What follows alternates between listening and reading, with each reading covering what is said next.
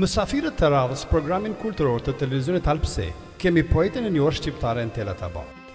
Ajo shkruan poezi moderne, me stil krejtësisht të veçantë, teksa brenda poezive të saj dallon lehtësisht shkëlqimin klasik të lirikave të Martin Camajt.